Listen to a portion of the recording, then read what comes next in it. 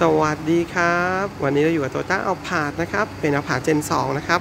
สำหรับคันนี้เราติดตั้งนะครับจอ Android นะฮะตรงรุ่นในโตยต้าเอาผาดเลยนะครับ เป็นจอขนาด 10.2 นิ้วนะฮะตัวนี้ฮะเดี๋ยวเรามาดูกันครับว่าหน้าจอขนาด 10.2 นิ้วแล้ว เป็นจอตรงรุ่นนะครับใน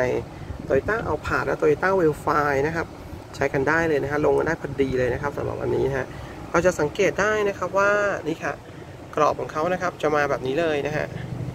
ลากยาวเลยนะฮะตรงมาถึงตรงคันเกียร์นะฮะแล้วก็ขึ้นไปนี่ฮะแล้วเขาทำ border หรือทำเบ้าขึ้นมานะฮะเพื่อจะรับกับจอ 10 นิ้วนะฮะหรือ 10.2 นั่นเองนะครับ ตัวนี้เป็นแรม2นะครับเวอร์ชัน10 นะฮะเราจะเห็นว่าออกแบบมาสนิท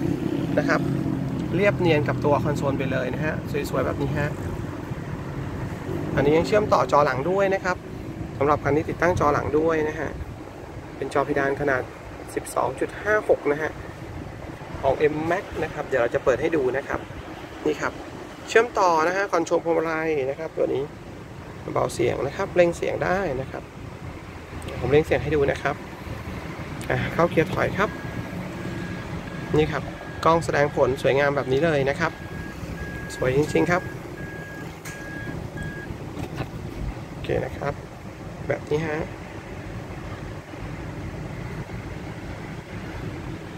ก็เล่นได้เหมือนกับโทรศัพท์นะครับ เชื่อมต่อ Hotspot แล้วนะครับ สามารถเข้าหน้าแอปได้เลยนะครับแอปพลิเคชันก็มีทั้ง Spotify นะครับ มีทั้ง YouTube มีทั้ง Play Store ดาวน์โหลดแอปพลิเคชัน มีทั้ง Map นะครับ เปิด 2 หน้าจอได้ด้วยนะฮะตัวนี้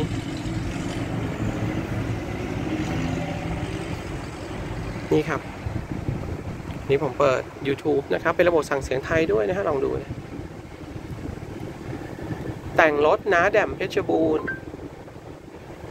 ไวไปหน่อยครับเดี๋ยวอย่างนี้ครับแต่งรถเพชรบูรณ์ก็ได้นะครับ แต่งรถเพชรบูรณ์ระบบสั่งเสียงไทยนะครับ ก็จะขึ้นช่องของนาแดมเลยนะครับ ก็ฝากไว้ครับเป็นกำลังใจในการทำคลิปกด Subscribe ไว้นะครับ มีงานอัปเดตใหม่ๆ ทุกวันนะครับสำหรับลูกค้าที่ชอบแต่งรถเลยนะครับ ก็ฝากไว้ด้วยนะฮะนี่ฮะเรียบร้อยแล้วเข้าเกียร์ถอยก็ได้นะฮะภาพจะตัดไปนะครับเป็นแบบนี้ กล้องชัดมากครับ หน้าจอเป็น capacitive นะครับ ตัวนี้แท้ ๆ เลยนะฮะ โอเคนะครับ ผมตัดไปแล้วนะฮะเล่งเสียงนะครับบ้ายเบาเสียงได้ เดี๋ยวผมจะเปิดให้ให้ให้ดูนะฮะ ในส่วนของสคริปต์หนึ่งแล้วกันนะฮะ คลิปของทางช่องนะครับ เดี๋ยวเราจะไปดูท่านหลังด้วยกันนะครับ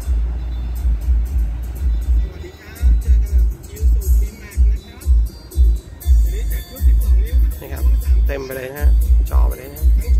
โอเคนะครับ เราดูด้านหน้าไปแล้วนะฮะ เห็นว่าจอตรงรุ่นเป็นยังไง เรียบเนียนสนิทสวยงามทั้งซ้ายและขวาแบบนี้นะฮะ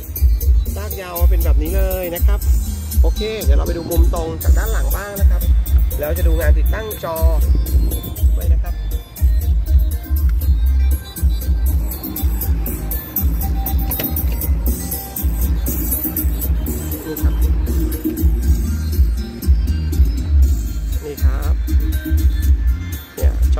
านนะครับ ขนาด